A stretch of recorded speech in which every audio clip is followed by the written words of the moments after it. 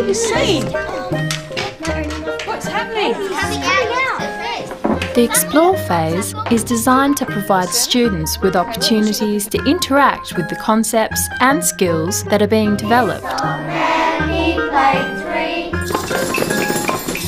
This phase allows students to acquire a common set of experiences to help each other make sense of the new concepts or skills.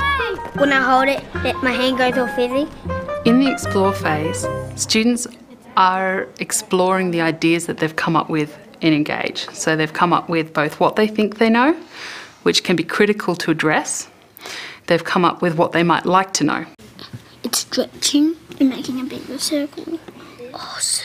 Often I will stand back and just look at my whole class, and they are all on task and really excited about it. I think I could make it more stable by putting some more pasta on the sides. During the explore phase, the best way that I could describe the classroom is buzzing.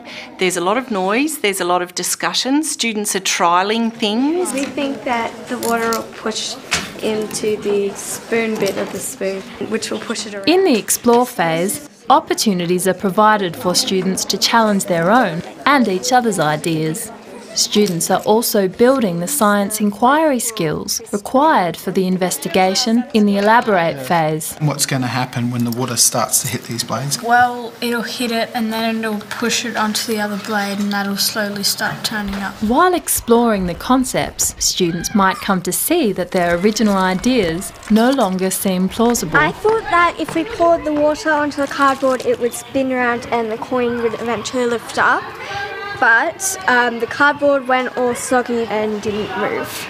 This process where students try to resolve their ideas is very important as it can assist students to modify their non scientific conceptions. We changed the cardboard to plastic. It's working much better because it's stronger. You cannot claim anything without being able to represent it. Now, one way of representing is articulating. So, the more we can encourage students to discuss what they're experiencing with one another, the more learning that's taking place. What do you think that is? That clear liquid? That that stuff down the bottom.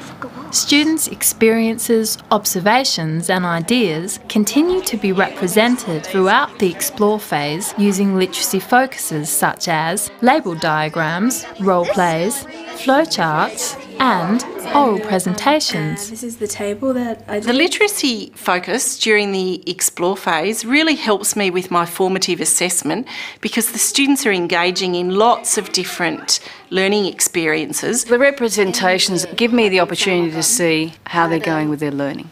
Areas that I need to reflect on and and give them more opportunities to explore. It is this representation in a variety of forms that enables students to engage with and clarify their emerging explanatory ideas and understanding.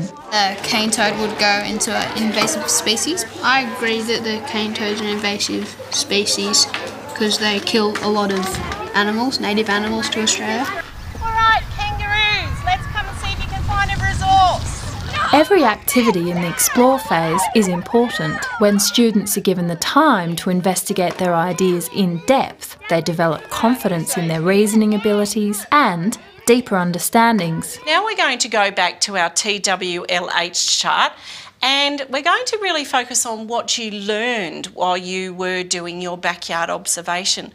Um, well, I learned that um, living things and not non-living things interact a lot. Using the TWLH chart is important in this phase as the teacher records what the students are learning and helps them link their emerging ideas to evidence they are collecting. How do you know? What's your evidence for that claim?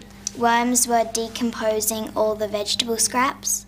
At the end of the Explore phase, students will have shared experiences of the phenomenon or concept that can be discussed and explained in the next phase.